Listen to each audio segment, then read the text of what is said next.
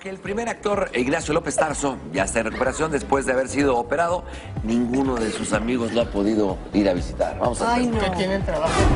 Después de la operación a la que fue sometido don Ignacio López Tarso, José Carlos Ruiz, amigo entrañable del primer actor, reveló en entrevista exclusiva para hoy que no ha podido comunicarse con él. Hablé, pero no, no pasan ahorita las llamadas.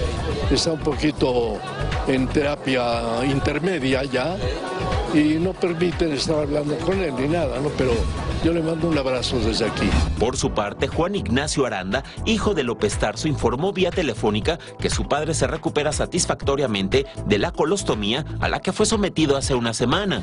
Pues está estable, está estable. Eh, no, no, hay que insistir en que es una operación muy delicada la que se le hizo a mi papá. Ok.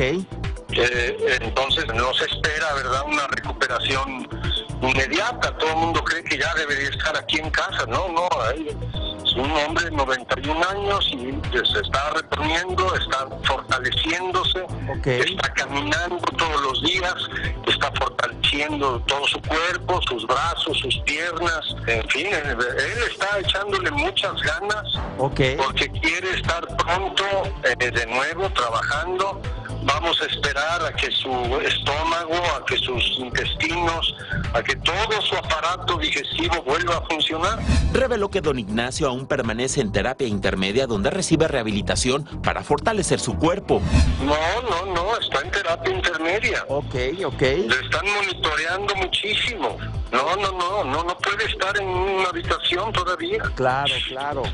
Mm, pues no, él está en- con fisioterapia, con haciendo ejercicios, nebulizaciones, protegiendo sus pulmones, eh, recuperando sus piernas, mientras el estómago vuelve a reincorporarse al trabajo normal. Normal. La próxima semana, el primer actor podría dejar terapia intermedia. Jorge Nieto, hoy.